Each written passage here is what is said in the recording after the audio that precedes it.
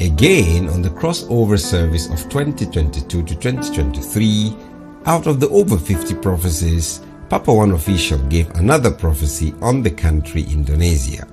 These were his words and the fulfillment.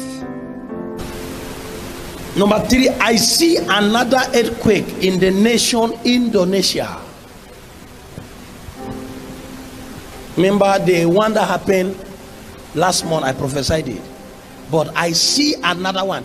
In fact, the name of the place where this other earthquake will happen, the name of the place, I see two places. I see a state called Surabaya, and I see another place called Jakarta.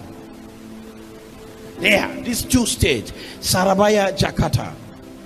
Suddenly, massive earthquake, and people die, and there is national mourning declared in the nation Indonesia. So, what is the cause of all this to this country, Indonesia? What is going on? When they meet the prophet, they will know why.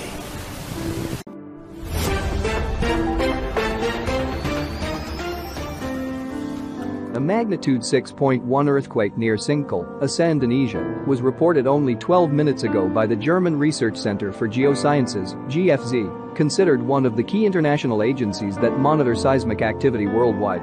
The earthquake occurred at a shallow depth of 10 kilometers beneath the epicenter early morning on Monday, January 16, 2023, at 5:29 a.m. local time.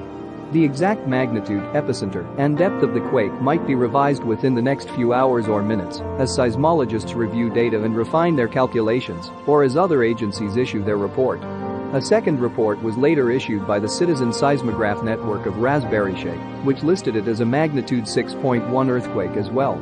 A third agency, the European Mediterranean Seismological Center EMSC, reported the same quake at magnitude 6.2. Amos 3 7. Surely the Lord God does nothing unless he reveals his secrets to his servants, the prophets.